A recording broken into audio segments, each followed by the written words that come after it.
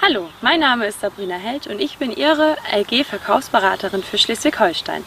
Heute möchte ich die Gelegenheit nutzen, Ihnen unsere neue, rassenspezifisch kolhernieresistente Sorte Archimedes vorzustellen. Kolhernie ist ein großes Thema in den meisten Anbaugebieten der Bundesrepublik, besonders dort, wo die Fruchtfolgen sehr intensiv mit Raps sind. Durch einen starken Befall von Kolhernie kann es zu sehr immensen Ertragsausfällen kommen. Aber nicht nur seine rassenspezifische Kolonieresistenz zeichnen Archimedes auch aus, sondern auch seine Fummerresistenz durch die Genetik des RLM7-Gens und auch seine Schotenplatzfestigkeit. Diese Parameter machen die Sorte sehr ertragssicher im Anbau.